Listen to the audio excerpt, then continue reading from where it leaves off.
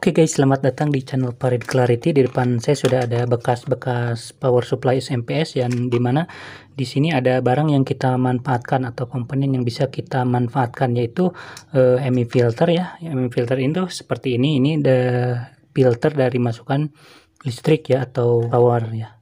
MI filter ini kita akan jadikan sebuah alat yang bisa lebih bermanfaat, oke? Okay? Selain MI filter ini, kita butuh transistor ya. Dan resistor dioda bridge bisa juga dioda biasa ya. Elko dengan voltase maksimal 400 volt ya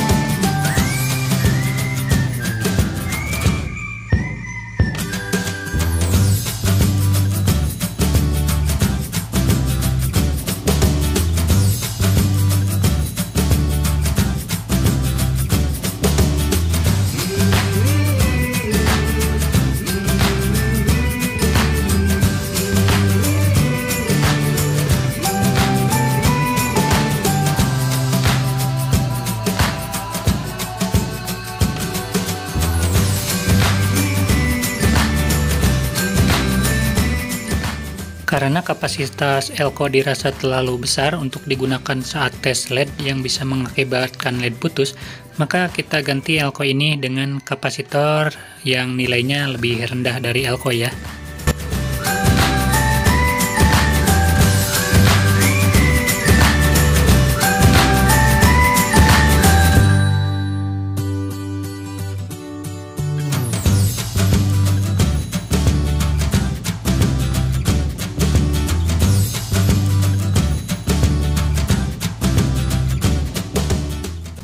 Setelah selesai saya siapkan multimeter ya, voltmeter dan di set di 200 volt DC ya. Kemudian outputnya dimasukkan ke multitester ya untuk tesnya. Kita nanti tesnya bisa langsung ke komponen ya. Seperti ini. Nah, udah selesai.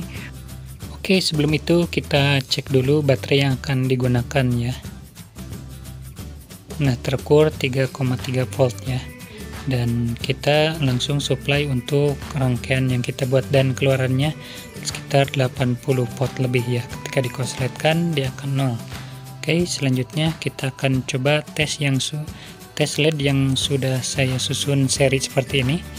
Oke ini nyala semua ya 21 volt. Kita tes satu-satu dan seperti ini tidak membuat LED putus ya tapi ke mana pun kita tes dia akan menyala walaupun hanya satu LED saja oke? Okay? nah seperti ini. Semua LED nyala. Mau tes di mana pun ya misalkan contoh di tengah seperti ini tes satu LED dua LED dia bisa ya seperti ini tes di tengah. Oke selanjutnya akan kita cek dioda jener ya di sini tertulis 12 volt ya. Untuk sementara kita coba tes dengan arah yang benar ya terukur 0,8 lalu kita arah sesuai dioda Zener terukur 11 volt 5 ya 11,5 volt. Oke itu dia. Terima kasih telah menonton. Sampai jumpa